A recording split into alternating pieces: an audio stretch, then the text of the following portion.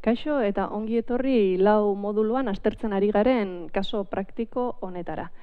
E, kaso honetan, azkenengo adierazleak asaltzea geratuko litzaiguke, alegia, ba, erakundeak irungurumenean izan duen eraginari buruzko informazioa. E, beste bi atalekin egin dugun bezala, ikusten dugu atal honetan, ba, eskain daiteke, eskaini daiteken informazioa oso anitza dela, aspektu ezberdinetan zailkatu daitekeena.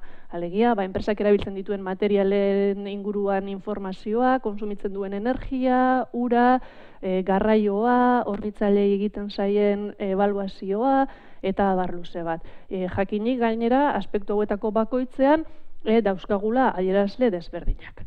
Bueno, hori horrela izanik, kasunetan, en, informazioa irakurita, txostena irakurita, eta bere materialtasuna aplikatuz, aipatzen zitzaigun gai material bat, energiaren zen, eta beraz hori aztertzea erabaki dut. Kaso honetan, e, lehen da bizikoa dirazlea, energiaren e, aspektua aztertzeko, izango litzateke, e, ba, enpresak duen energiaren barne kontsumoa. Honetan, argi ikusten den moduan, 2011etik 2013ra barne kontsumo hori murrizten joan da. Eta e, adirazleak aipatu genituenean, hirugarren moduluan ikusi genuen bezala, ba, hau kalkulatzeko badakigu kontutan eduki behar dugula, enpresak ba, daukan e, energia berriztagarri eta ez berriztagarrien kontsumoa, eta baita sortutako, e, saldutako eta banatutako ba, em, oste, lurrun eta elektrizitate kopurua. Beste alde batetik edukiko genuke, ba, kanpoan konsumitzen den e, energia edo daukan kontsumo energetikoa, eta kasu honetan ikusten dugu informazioa testu moduan asaltzen zaigula. Eta horren arrazoietako bat izango litzateke, ba, erakundeak esaten digula, oraindik ez daukala gaitasunik ba, e, kontsumo hau energia unitateta baloratzeko. Eta horretan lanean ari dela.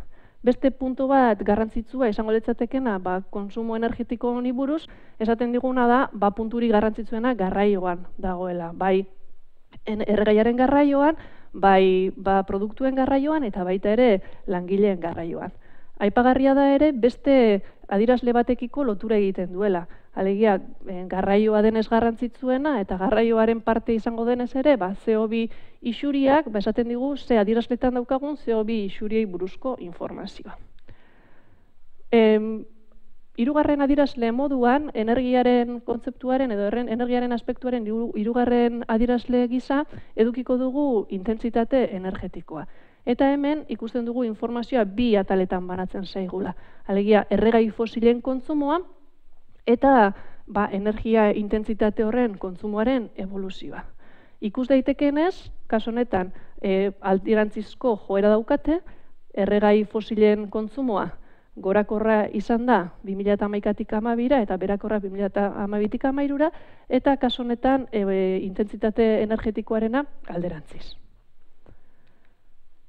Azkenik, aipagarria izango zaigu, e, ba, zein izan den energia kontsumoan izan duen gutxikuntza. Eta hemen esaten digu, ba, gutxikuntza bat jasan duela, 2008-tik amabira eta 2008-tik amairura, baina e, aipatzen diguna da, nondik etor daitekeen aurrezpen hau. Aurrezpen honen jatorria esaten da dela ba, energia distribuitzeko edo banatzeko sareetan gertatu daitezken isuriak ekiditea, eta baita ere ba, produktuak eta ahalik eta energian kontsumoan e, bajuenak egitea. E, aurreko esan dut zela azkena, baina ez nastu egin naiz, kaso honetan beste adirazle bat edukiko genuke, eta izango litzateke ez ja enpresari begira, baizik eta kanpora begira egiten dituen produktu eta zerbitzuen e, baldintza energetikoak. Kaso honetan, esan beharra dago, ba, bere produktu berdeak bultzatzea duela helburu, bai, eta kaso honetan, ba, e, bai CO2 isuriak e, gutxitzea atmosferara, eta hori izango litzatekela produktu hauen helburua. Kaso honetan ere ikusten dugu, ba, taula baten bitartez, nola eskaintzen zaigun produktu eta zerbitzu berde horiek eragindako aurrezki energetikoa. Bai 2008an, bai 2008an eta bai 2008an. Eta argi ikusten den moduan, kaso honetan ere aurrezkia e, gorakorra dela a, ikustezakegu. Honekin, e, eman dizuetan adibidea izango litzateke, ba, adirazle ingurumen adirazlei buruzko adibide bat, nola ematen den informazioa, ikusi dugularik batzuk testu moduan ematen direla eta beste batzuk taula moduan. Interesgarria iruditu zeizuela espero dugu eta eskerrik asko zuen arretagatik.